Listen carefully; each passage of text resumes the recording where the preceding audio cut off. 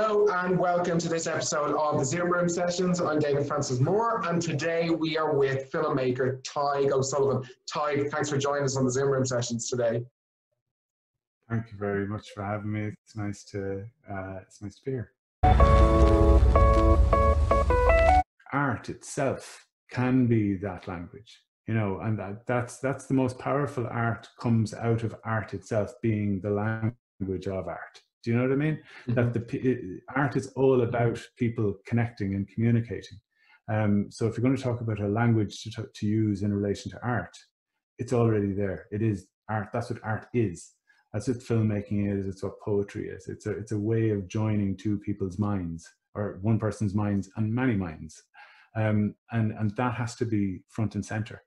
To take you know I don't want to go down a critical road, but if you if you do go into a, a business led kind of arena or world where where people talk about art in a very business sense and it's all about agile and robust responses to you know going forward like that's the opposite of art you know because it's stripped that language that language that's used is stripped mostly of meaning you know because words like agile and robust actually don't mean anything at all um, and it's also stripped entirely of ambiguity, which is the absolute lifeblood of art. You know, that I look at a film and I see something entirely different to what you see. And that that's it. That's the point. Um, is that we can then get something different from from art because it's not specific. Um, and whereas the language of business aspires to specificity, it aspires to clarity and non-ambiguity. So it's kind of it's it's just fundamentally wrong. It's the fundamentally wrong register to be speaking in when you're speaking about art. You cannot describe art using that language. Um, you can describe something else, which is a really solid budget and finance plan for making your film. Great. Um, and you need that because I don't want a poem instead of a finance plan if I'm getting a film made. You know, there's no point in a deeply ambiguous impressionistic spreadsheet. But each it has to have its place and I and I think that's where we have to be kind of guarded is to to for for to know that the way that we as artists use language and that the way that we understand language um, is not wrong. It's not a secondary sort of argot. It is that's what it's about. The other stuff should sort of be deferential to it. You know what I mean? Um, I guess I, I would try not to describe myself as a professional. I, yeah, I mean, it, I guess I am a professional artist.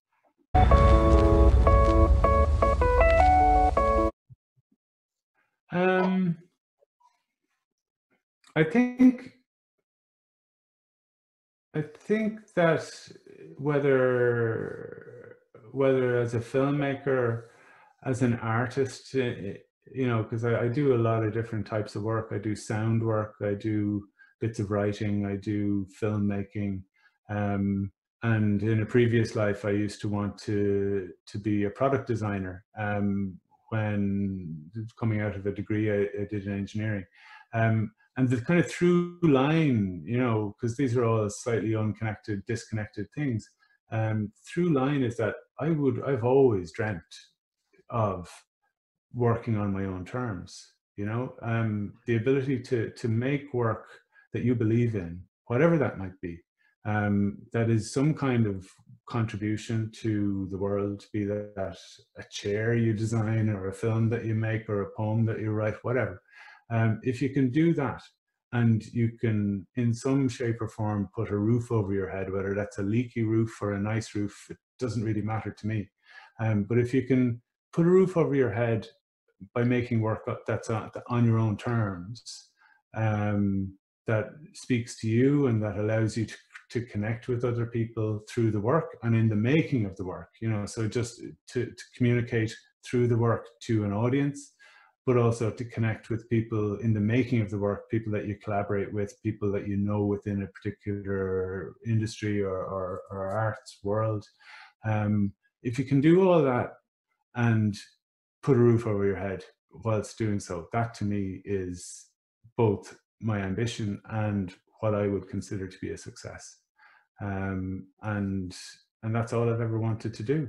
Um, so yeah, I mean the particulars of of do I want to make this kind of film or that kind of film or you know that that's all secondary. You know, I think I think having this kind of creative impulse is something that I think an awful lot of people have.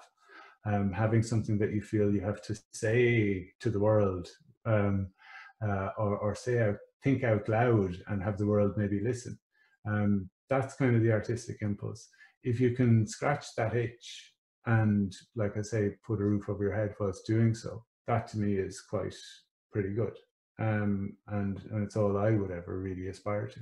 Um, so yeah, I mean the roof is getting slightly nicer as the years go by, and the um, the, the itch is getting less itchy, um, but but the kind of the, the, basic kind of motivating element is remains the same. Uh, I think so.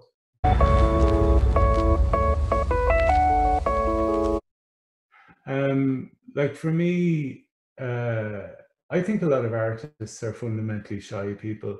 Um, but they're not just any old shy people. They're shy people who have a deep desire to connect to other people, um, but don't necessarily have the same social outlet that other people have. Um, and and I think for for that, for for such people, um, connecting with people through art is a very important element of what they do.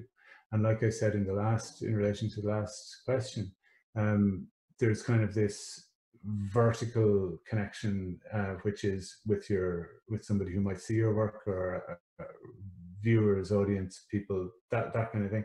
But then there's this horizontal connection as well with people that you collaborate with, people that you work with, people that you know within the same area who and you talk about the industry, you talk about work, you talk about films you've seen, and you share ideas. You know, so so there's that side of things. Um, so and then within film what's very interesting in nonfiction documentary film, which is where I ended up gravitating towards far more than fiction film, um, you get to walk around the world um, and talk to people that you wouldn't otherwise get to talk to. Um, you get to carry a microphone like this um, and you put it in front of people and you get to ask them all sorts of interesting questions. Um, and that's an incredible privilege. Uh, and it's an incredible way for somebody who maybe is a little bit reticent uh, and shy. It's an incredible way to go out and meet the world um, and to, to ask questions and um, and not necessarily have to answer questions in turn, you know, because it's a bit of a one-way street. Um, so, so you're asking kind of what's the arena for the work, for me it's it's really multifaceted you know it's it's knowing you through my engagement with arts in Carlow it's it's it's about knowing uh knowing a fellow who who traveled from Turkey to Greece on a dinghy um, as a refugee because I was making a film about that particular thing once upon a time. Um, it's about meeting people in Berlin that have seen a, a, film of mine and hated it, but that's a good starting point for a conversation. Um, so, you know, I'm not interested in in work. It's all about people. You know what I mean? That's what I'm trying to say. That that that for me, art can be beautiful, um, but what's interesting to me is the mind of the person who created that beauty and connecting with that mind. Even if the person died 200 years ago, it's still about that person and connecting with that person's mind. Um, and I think art stripped of the, of the human um, is kind of hollow and, and a bit boring. So, so for me, the, the realm that I work in is all about humans and engaging with humans. Um, which is what something that I'm kind of struggling with in the current context because it's all mediated through uh, this kind of digital remove.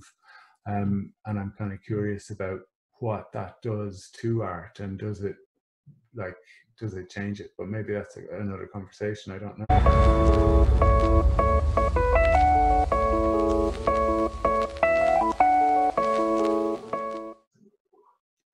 Um Yes, There's a couple of things around this. Like, I think there's a really important part of my work, which is to do with community. Um, like, I spent time in Galway a long time ago, like it's uh, 15 or 20 years ago. Um, and I was part of a kind of a, a bunch of people, a bunch of friends who were interested in the same kind of films, the same kind of work. Um, and we all stayed friends for a long time. And uh, and even though we wouldn't necessarily work on, on each other's films, even though we did sometimes, um, there was a sense of oh, I, I, of sending each other our films in order to see what that person thought, or did you see this person's work, or have you read this book, or you know, just a general kind of sense of community, and and that's lasted a long time and it's grown and it's it's I've I've had it replicated in slightly different ways with other friends and newer friends and so that kind of sense of working in a scene, as it were, for all that word is not a great word, um, I think is really important. I think you can't make work in a vacuum. Um, and that to me is is the key collaborative thing is because a lot of art is about developing a language, you know, a language of, of filmmaking, a language of writing, you know, a language of music. Um, and if, and you develop language is a social thing, you know, if I know that I can create work in a certain style and it'll be appreciated or understood more to the point by other people, that will encourage me to to work in that way. So mm. it's it definitely people's ideas bounce and feed off each other. Um, and there's nothing radical in observing that, you know, I mean, just look at like schools of painting in the 15th century, like to observe how that uh, has always been the case. Um, so that's really important to me. Um, in the specifics of film, film is a very collaborative. Um,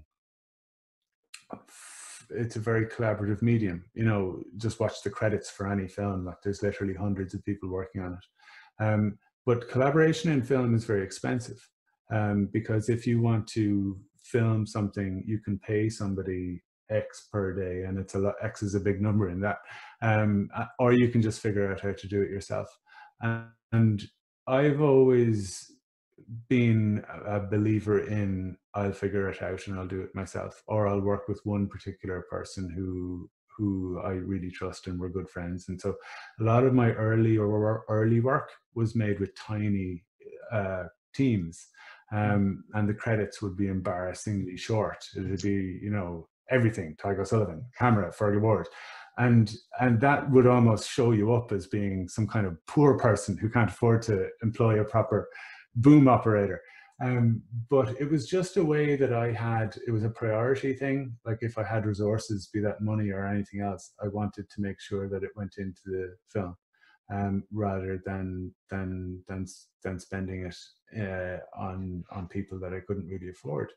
Um, and, and also i don't mind filming something for a month rather than only having the money to pay somebody to try and film it in three days when you just won't get the same depth of engagement. So that's kind of the other aspect of film. Um, and I enjoyed that and I enjoyed the autonomy of it. Um, but as the years went on, I began to, to collaborate more. And the most recent film that I made, um, which is I'm just finishing now, which is a feature film about the moon um, and moonlight, uh, and the credits are a mile long um, because we were working with cinematographers in uh, China and um, poets in North America, and it was a really, really collaborative thing where I would just find somebody on the internet um, whose work I liked, and I'd approach them and say, uh, "Would you like to film something for this film?" and give you total autonomy within this kind of brief, um, and then send me back the material, and we'll see what we have. Um, and it was incredibly uh, interesting way to work. And sometimes it was useless, terrible. People would just send it back total crap.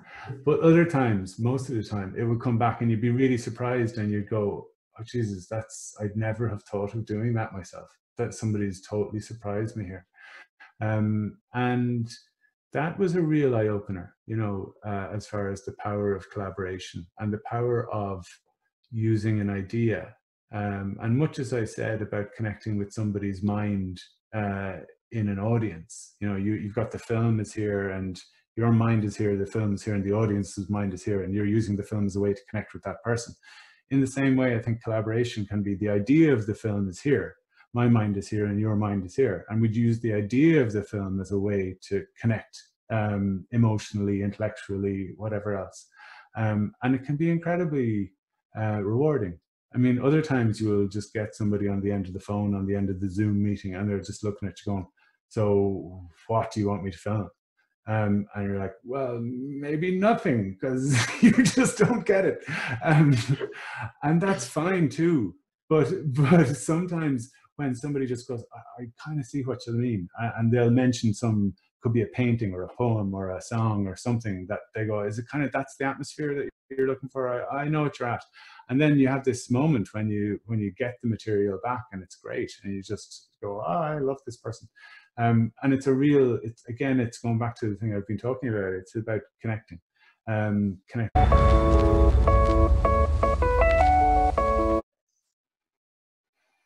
Mm, no, to be honest, um, because I, I think the word entrepreneur is is I, I don't even know what it means myself. Like I think I think you just need a different word. I think that word is is hollowed out a little bit, and and just a, just any kind of meaning has been squeezed out of it from overuse.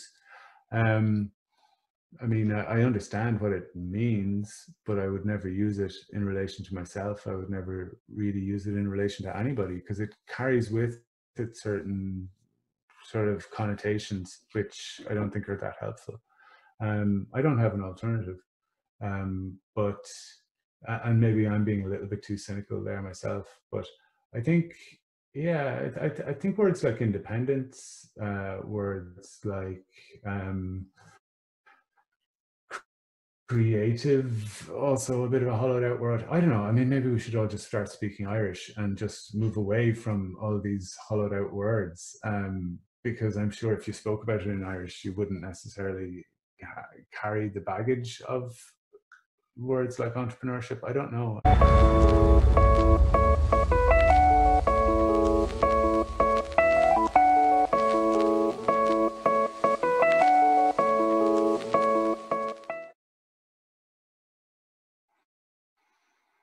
Mm, um, yeah, uh, I can't argue. Like if if you if I was in if if somebody asked me to interview somebody for an important job, um, and that was the checklist.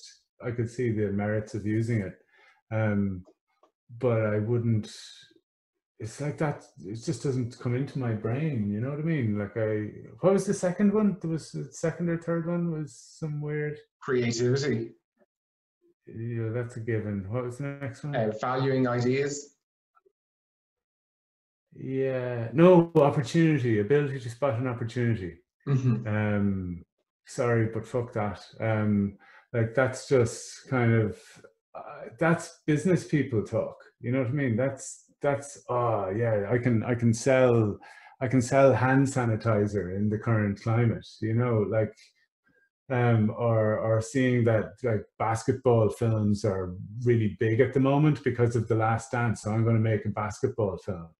Like go away like you know uh, the, the world is full of people like that you know we don't need to advocate for that in our in our creative um in our creative world i, I think quite the opposite you know i i would value somebody who barely knows what the opportunities are, are, are that are out there who just wants to make a particular thing and you know because it's it's up to the system to listen to the people you know what i mean it's up to the system to to go you know rather than we'd like to encourage this type of art. Um, it's up to to those people, uh, you know, and I'm talking about funders and arts organizations and people like that, um, and a lot of them do, uh, to kind of check in with people and and say, especially the young people, you know, people in their twenties just starting out, what are they making? You know what I mean? Like, what what what do they do? And, and I think filmmaking is a really interesting um, subject. I mean, it's the one I know most about, but like filmmaking is in for a big land when the current crop of 20 somethings uh, are slightly older. Uh, filmmaking is predicated on a on an industry, on a business model that is all about individual niche skills. Um, you know, you train as a this or that or the other. Um, it's it's based on you know big budgets being required for films, producers, accountants, everybody's involved. You have 22 year olds who are doing stuff on TikTok at the moment that is way way beyond what I see at film festivals and I'm not even joking. Like I think there are people, there are 17 year olds in Poland at the moment, and I'm speaking about a specific person um, making work that I think is some of the most original cinematic work I've seen in years. Um, so if the film industry then is going, we'd like to encourage these competencies you're missing the boat. You need to, you, the incompetency I would advocate for the film industry is to go on TikTok, go on YouTube, go and listen to young people and see what it is that they're making and make sure that when they come out of, you know, their youth, even now, make sure that there's a, a space for them to grow into in your industry or else your industry is going to die um, you know, and, and, I think that the same goes for music, the same goes for literature, the same, you know, it is up to the people who run the industry uh, to to make themselves. They should be the malleable ones. They should be the ones changing their competencies to facilitate that which is bubbling up from inside of people. Do you know what I mean? Because all art, all good art, proceeds from something that is a feeling here, um, and the feeling here that 18 year olds are having about uh, living in lockdown for four months is not something that the art world can can throw a frame around and say, you know, here's an open call for blah blah blah, um, unless they listen, unless they go and read what people are writing on the internet, on Twitter, on social media, and you know, you can tune into that now in a way that you never could before. And and art needs to the art industry, the art business um, needs to facilitate and create a space for that which is bubbling up from below. And if that means the end of certain established artists' careers, so be it. You know, like if, if the art world has to move on, if if the film world has to move on, you know, and you see because you see this in in music a lot. You know, the Glastonbury and um, you know the O2 Arena and all of these. They're every set almost every second set is by white dudes in their 50s playing the same records that white dudes in their 40s liked when they were 18. Um, and so the film industry has, has said, well, the money is in people who look like Tadhg O'Sullivan, spending money going to recreate their youth, um, listening to the bands that he used to like. Um, so that's that's where the that's where an industry-led model of the arts leads you is a kind of absolute calcification and stagnation rather than um, rather than creating a stage which is entirely about new uh, new voices and things that are just brilliant and and you can't deny that they're brilliant which is where all those bands came from in the first place was somebody going that's really good. Um, and in 1987 people were like, okay, clear the stage. This guy's amazing. Give him a stage. You know, and I think going back to that is, is where the arts uh, needs to needs to go.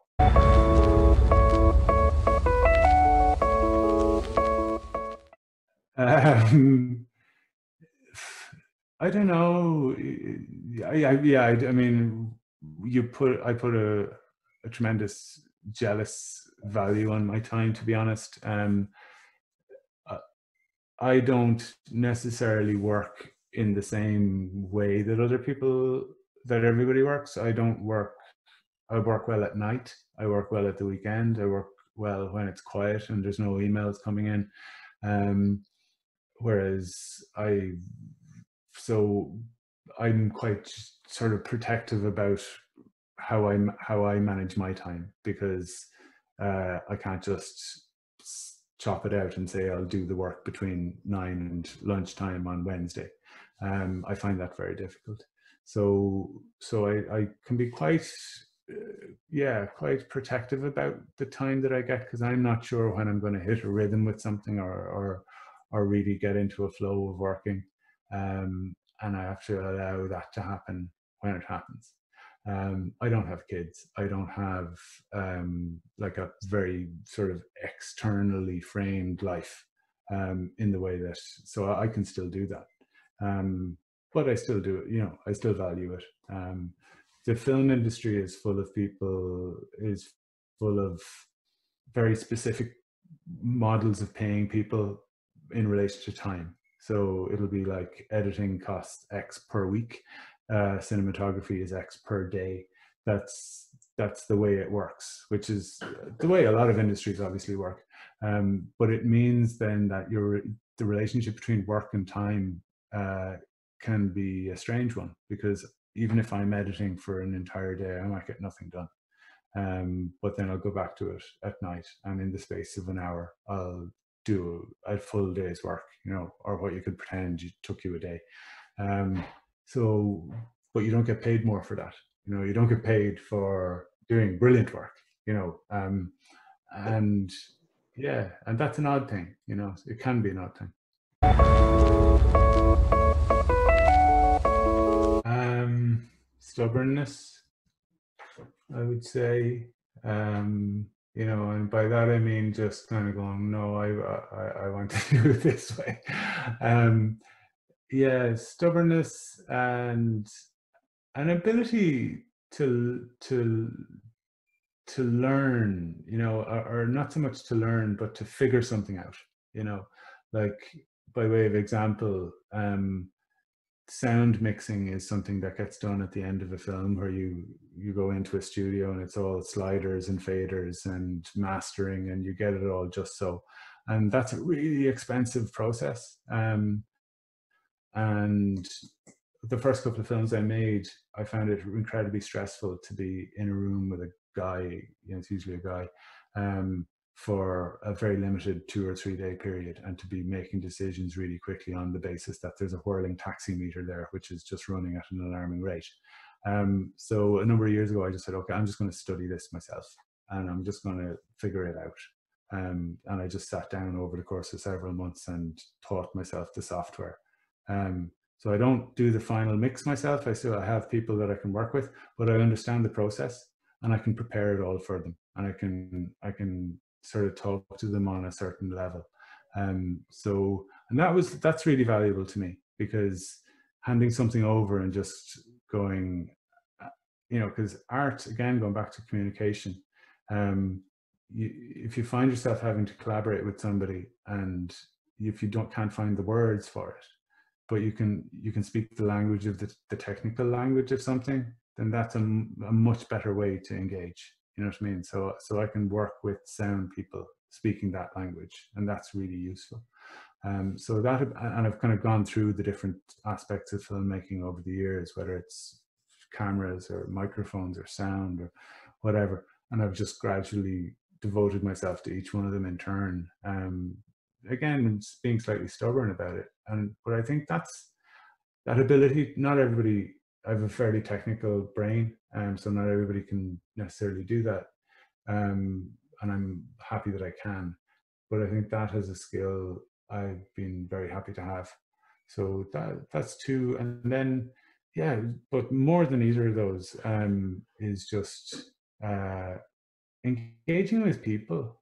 You know what I mean? Like it comes that ability to listen to people, to to you know, if it if I mean this sounds like a boast, but like I'm endlessly fascinated by humans and just asking people what they what they get from something, what they like, you know, uh, or to interview them for a film or to work with them in a film. Like it's all about connection and and just developing that kind of interpersonal thing um, is is vital. I, I it's impossible to imagine a world without that, you know. So um, yeah, that's there's three for you now.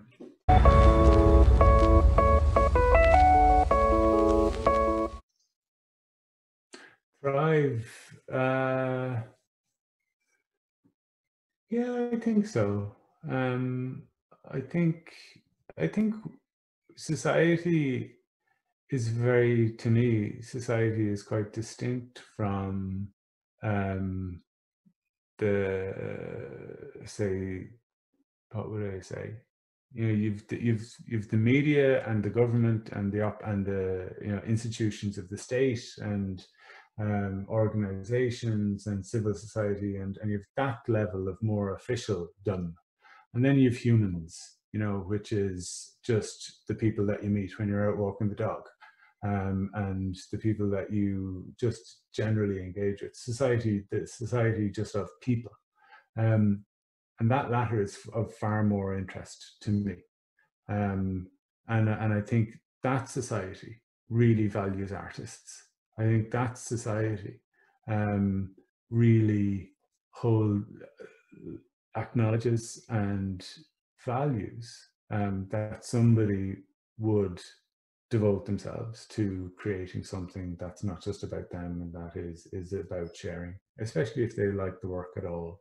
Um, they don't necessarily want to be you because you're not exactly mega wealthy or anything. Um, and they don't want you to be mega wealthy, um, but they value that you exist. Uh, and I think that's really, really important. So, and I think that encouragement comes, is, is very important to me. You know, I worked on a film called The Lonely Battle of Thomas Reid a couple of years ago with a friend of mine. Um, and it's a film about farming and uh, and courtroom drama and but the fact that it's about a, a farmer a, a, kind of stubborn independently minded farmer um, means that it, it, was very appealing when it went out on RTE. It, it, really captured the imagination imagination of country people especially and I'm a country person um, and I've never had a work piece of work resonate with so many people. I've never had so many people from strange corners of my life whether that's friends of my aunt in Borris, County Carlow, or um, my partner's father um, go, Jesus, I, I, like that. Oh, he was brilliant. And uh, how long did it take to do that now? You know, that kind of genuine, but there's a genuine respect that comes from um, from people going, I'm glad that exists, and therefore I'm glad that somebody took the time and effort to make it exist. And I find that incredibly fulfilling. Um, and I think that's to me, when you say, does society allow you to thrive? Yeah, I thrive on human connections. Um, I thrive on connecting myself with people, but also connecting people with each other. You know, when people can share, you go back to the idea of the cinema. I like the fact that my neighbor in Carlow and my partner's father in West Limerick both saw the same film that I made and or worked on at least and and got it and liked it and thought geez i'm glad Tadhg exists. I really like that. Um, and i know it's a little bit self-centered but it is when you'd ask about does it allow you to thrive? Yeah that that makes me uh, it makes me happy. Um, and and it's not about reviews in the paper. It's not about necessarily uh, a big financial reward but that kind of connection um, with society in general is is I think what the power of art is, you know, um, and uh, and I think that's why why people appreciate it. I think that's why people value it because they they see that themselves, you know.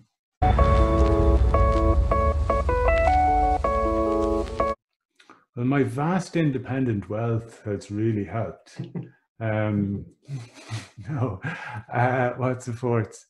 Uh, people like i guess just people you know if you surround yourself by if you surround yourself with people who share the same kinds of values then you know they you get that kind of feedback. And it's not even necessarily always a verbal thing. It could be a, just a look or a how you're getting on? Is it all right? You know any you know any movement on that thing.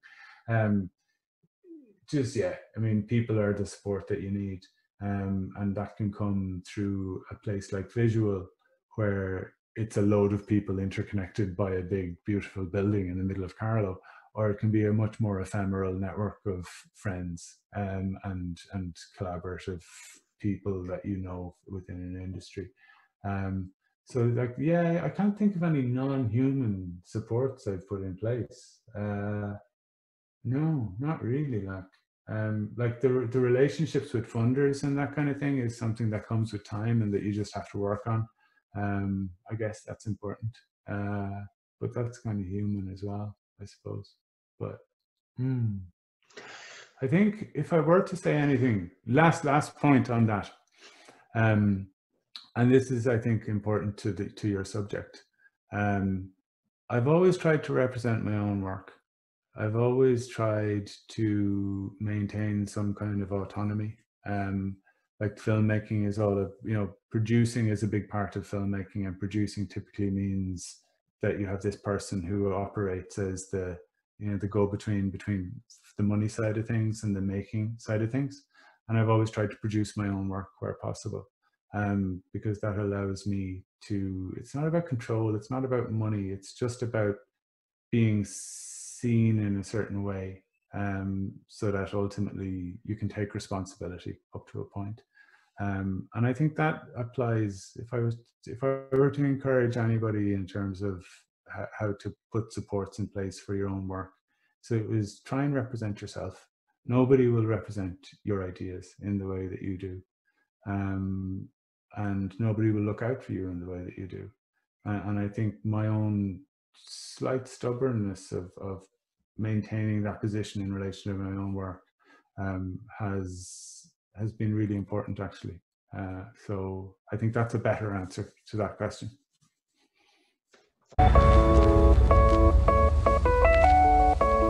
Um, I'm not sure if I'm best placed to talk about that. Um, okay.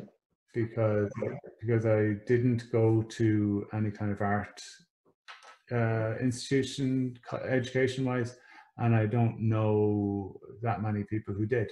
Um, it might be just a coincidence, but most of the good filmmakers that I know, and I hope I'm not annoying anybody who I'm leaving out here, but a lot of the better filmmakers came from some other weird background. Um, and, and I think that I often find that life experience is, is a really undervalued thing when it comes to making art, especially art about the world. Um, so what could what could higher education institutions do to better prepare people? Um, I, I, genuinely don't know. Um, I think actually there is, I think, a tendency to, you know, and this goes back to our conversation uh, about competencies, where I took you to task over the word opportunity. Um, I think there is a when you bring too much business thinking into art, then the idea of identifying a market, as it were, and creating something for that market becomes a way of thinking. Um, where you say, oh, you know, what's really hot right now is, um, you know, uh, memoir in literature, you know, essays that are intercepted, intersected with uh, a reflection on your own life growing up in rural Ireland. And if anything miserable happened to you, then foreground that um, because that's what's big right now. And people go, yeah, I, I can, I can do that. Um, I think there is a degree of savviness that that that is at play in that kind of art creation, which is fundamentally dishonest. It might not be dishonest, but it's not honest. I think the best art, irrespective of the medium, comes from an honesty, comes from a general fe- a feeling here where you go, I feel something uh, profound. I feel it's profound at least, and I would like to articulate it into the world. Um, and I don't know if anybody else feels that too, or if I'm just being a bit strange here. But that's this is how I feel. And when I read a book or watch a film, I can I respond to honesty more than I respond to anything else. Uh, and to turn that on its head, I I will close a book after 20 pages if I feel that there's a dishonesty there. If somebody's trying to create an effect that's not that's for in order to sell more books or to to do well. I'm just not interested. Um, so that's what I look for is that it's all about that human connection. So I think if it is the case, and I think it might be, that higher education institutions encourage an awareness of opportunity, an awareness of what the market is, the market for certain types of work. If it is the case that higher education is encouraging people to think in that way, then please stop. Um, I think go back to just encouraging people to listen to themselves and to to really to to just respond to their own honest feelings um that would be my thing i mean look i know people need to make a living i know that there are trends in art and there's trends in selling stuff, but we're not here to talk about that. Like I acknowledge that exists, and I know that it's it's unrealistic to think otherwise, but I I just certainly wouldn't encourage a young person to think in that way. They're getting it already from media, from social media. You know, young people especially are looking at what gets likes and they're replicating it. Whether that's driving a tractor with no hands on TikTok or uh, making certain kinds of jokes, they will see what does well and go after that. So social media has entirely taken over that as an engine of creativity. So higher education needs to acknowledge that social media is doing that and give an alternative um, mode of thinking, you know, where you encourage just switching off from what's out there and just going with what you feel yourself. Because like I say, if you if the two, you know, if life through social media and higher education through intellectual growth are telling you to just watch what's happening and and tune into it and find a space for yourself in that then you're just going to get a certain type of thing replicating itself do you know what i mean this has been the Zoom Room sessions. This has been Tadhg O'Sullivan. Tadhg, if people want to find out more about your work, what is your website? What's your handles?